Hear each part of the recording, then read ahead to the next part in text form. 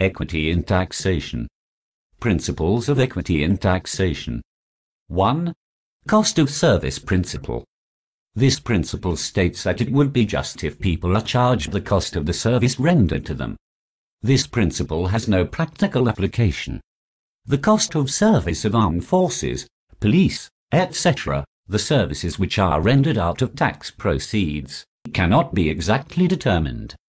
Only in those cases where the services are rendered out of prices, for example, supply of electricity, railway or postal service, a near approach can be made to charging according to the cost of service. 2. Benefit or quid pro quo theory. This theory suggests that the taxes should be levied according to the benefit conferred on the taxpayers. But its practical application is also difficult. Most of the public expenditure is incurred for common or indivisible benefits. It is impossible to calculate how much benefit accrues to a particular individual. There are a few cases only where the benefit to one individual is ascertainable, for example, old age pensions. The benefit theory violates the basic principle of tax. A tax is paid for the general purposes of the state and not in return for a specific service. Moreover, it is commonly believed that the poor benefit more from the state activities than the rich. If that is so, then the poor has to contribute more than the rich. This would be absurd. However, the idea of benefit stands out prominently in the case of fees, licenses, special assessment and local rating. 3. Ability to pay or faculty theory. This is the most popular and the plausible theory of justice in taxation is that every taxpayer should be made to contribute according to his ability or faculty to pay. The difficult task is to determine a person's ability to pay tax.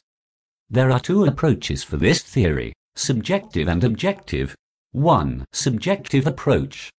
In the subjective aspect, the inconvenience, the pinch or the sacrifice bear by taxpayer is considered. There are three distinct views in this regard. A. The principle of equal sacrifice. According to J.S. Mill, equality of taxation, as a maxim of politics, means equality of sacrifice. According to this principle, the money burden of taxation is to be so distributed as to impose equal real burden on the individual taxpayers. This would mean proportional taxation.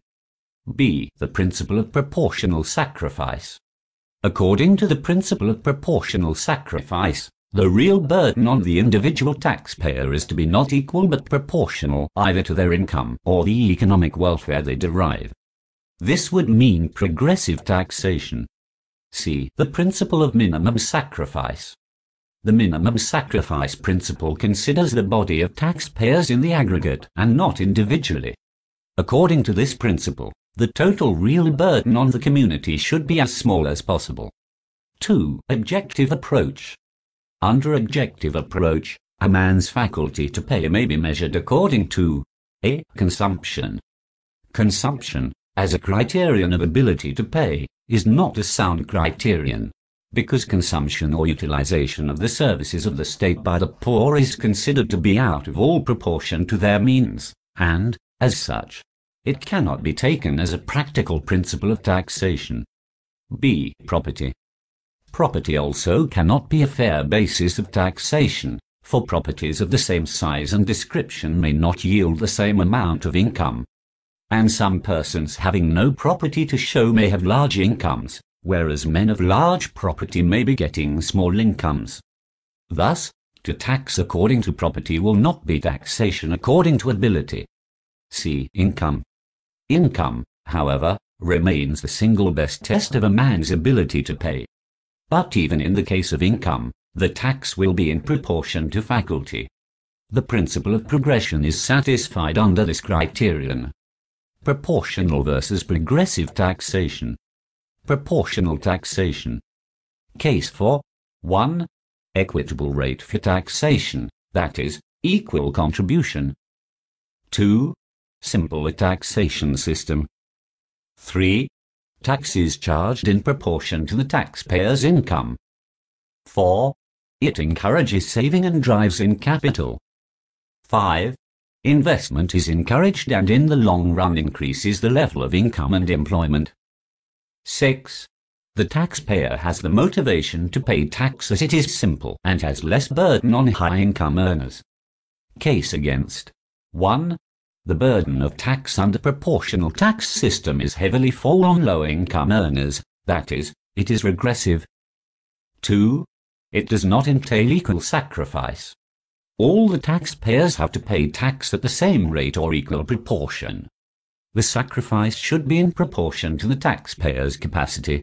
3. The government cannot raise substantial tax revenue which is used for public welfare. 4. Increased use of luxuries. 5. Less productive. 6.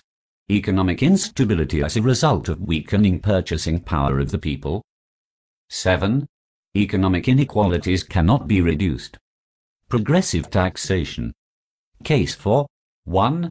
As income increases, the utility of each addition to the income decreases. Hence, the payment of the tax by the rich entails much less sacrifice than by the poor. The rich people should be, therefore, taxed at higher rates. 2. By taxing affluent class more, its expenditure on luxurious goods is curtailed. 3. Progressive taxation yields much greater revenue and hence it is more productive. 4. Progressive taxation is more economical and equitable. The cost of collection of the taxes does not increase when the rate of tax increases. It calls forth a proportional sacrifice from the taxpayers. It places the heaviest burden on the broader shoulders. 5. The principle of progression gives to the tax system much needed elasticity or flexibility. When there is an emergency, only a little raising of the rates may be sufficient to meet the situation. 6. Progressive taxation promotes economic stability and checks cyclical fluctuations. The government can easily control the inflationary and deflationary pressures by checking the purchasing power of the people through progressive taxation. 7. Progressive taxes are badly needed for reducing economic inequalities and for bring about more equitable distribution of wealth in the community. 8. Progressive taxes may increase the desire to work, save and invest. Case against 1. The degree of progression is settled by the finance minister on no definite and scientific basis. It is purely his personal opinion. 2. It is pointed out that the principle of progression cannot be advocated on the ground of promoting welfare, because welfare is subjective and cannot be measured. 3. Heavy progressive taxation will discourage saving, drive out capital, and thus hamper trade and industry. 4. Risky investments which yield higher returns are discouraged because the proportion of tax increases as income increases. Reduction of investment will reduce the level of income and employment in the country. 5. Progressive taxes put premium on idleness and leisure since they penalize those who work hard and make more money. It amounts almost a graduated confiscation of rich man's income. 6. Progressive taxes are more vulnerable to tax evasion. But the possibility of evasion in proportional taxation is not less. It all depends on the social conscience. Taxable capacity. The taxable capacity can be used in two senses. A. In the absolute sense, and B. In the relative sense. A. Absolute taxable capacity. It means how much a particular community can pay in the form of taxes without producing unpleasant effects. There are two extreme views about absolute taxable capacity. 1. The capacity to pay without suffering, and 2. The capacity to pay regardless of suffering. Sir Josiah Stamp defines taxable capacity as the margin of total production over total consumption or the amount required to maintain the population at subsistence level. It is the maximum amount of taxation that can be raised and spent to produce the maximum economic welfare in that community. B. Relative taxable capacity. On the other hand, relative taxable capacity means the respective contribution which the communities should make towards a common expenditure for example, provincial contribution to control expenditure. Dalton says the absolute capacity is a myth and relative taxable capacity is a truth. A relative limit may be reached without reaching the absolute limit. Factors governing taxable capacity. Following are the factors governing taxable capacity. A. Number of inhabitants. It is quite obvious that the larger the population, the greater is the taxable capacity of the community to contribute towards the expenses of the government. B. Distribution of wealth. If wealth is more equally distributed, the taxable capacity will be correspondingly reduced. But if there are large accumulations of wealth in a few hands, the government can raise more money by taxing the rich. See Method of taxation. A scientifically constructed tax system with a wise admixture of the various types of taxes, direct and indirect, is sure to bring a larger yield. D. Purpose of taxation. If the purpose of taxation is to promote welfare of the people, they will be more willing to tax themselves.